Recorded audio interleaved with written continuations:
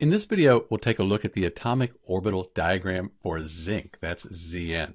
And the first thing we need to do, we need to have an electron configuration for zinc so we can draw the atomic orbital. So zinc 30 is the atomic number. That means it has 30 protons. It also has 30 electrons.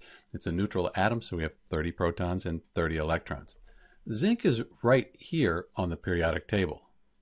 And to write the configuration, we'll follow the pattern here until we get to zinc. We start with the first energy level. We have 1s1, 1s2. That's full.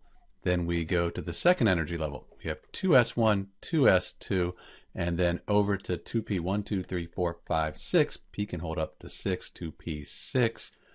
Third energy level, 3s2, 3p6. We're at the fourth energy level. We have our 4s2.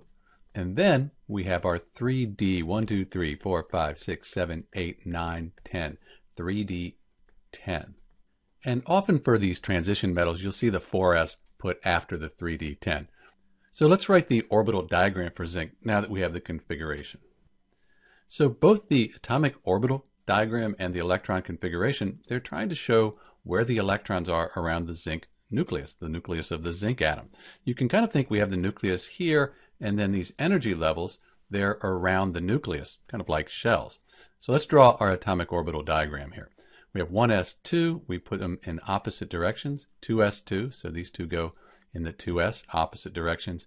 We spread p out, and then we pair them up, 3s2, and then 3p6, 4s2, and finally we have 3d10, so we'll spread them out, and then pair them up. So that's the atomic orbital diagram for zinc. Sometimes it's written out like this. It's really the same thing, just in a horizontal fashion. And again, we're just trying to describe where the electrons are around the nucleus of the zinc atom.